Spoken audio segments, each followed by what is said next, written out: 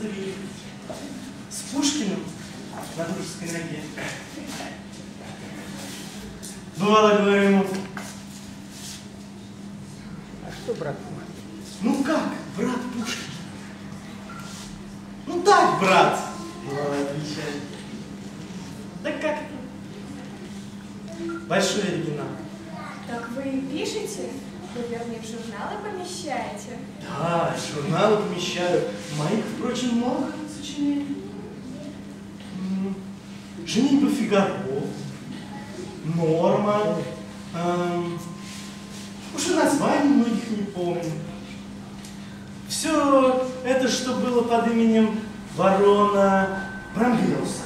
Так Это все я написал. Так это вы Брамбиус? Ну как же, я им всем поправляю статьи. Скажите, так верно, Юлий Мирославский ваше сочинение? Да, это мое сочинение. да. Ам, ам, прошу прощения, но я слышала, что Юрий Милославский господина Загоскина сочинение. Ну вот, я и знала, что она опять будет спорить. Ах да, это правда, это точно Загоскина.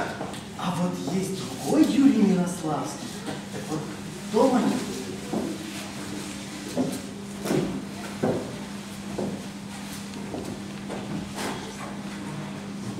Я знал ее милым ребенком когда-то.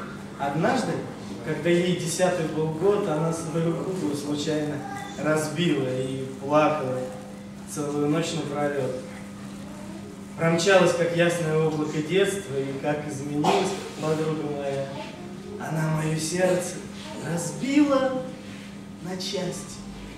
Но плакал об этом один только я.